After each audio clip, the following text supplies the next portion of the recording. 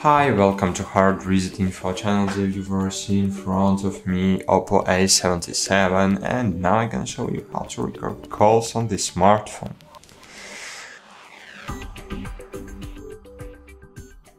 So firstly you need to open, you need to download from the Play Store of course Cube ACR application.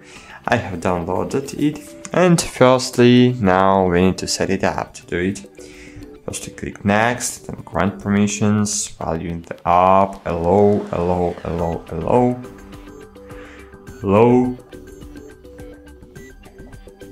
Okay, go read, allow. You don't need to provide access to the location. Click on the cross left top corner, click ignore, and now we need to open settings, open apps, open app management, find here our cube ACR, then permissions, check all permissions for your device, disable power app activity if it's unused, go back, and choose battery usage, allow foreground activity, allow background activity, and allow auto launch.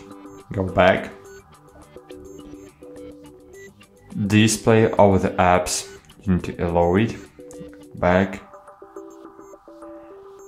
And that's great. Great. So great. Now open the recent apps.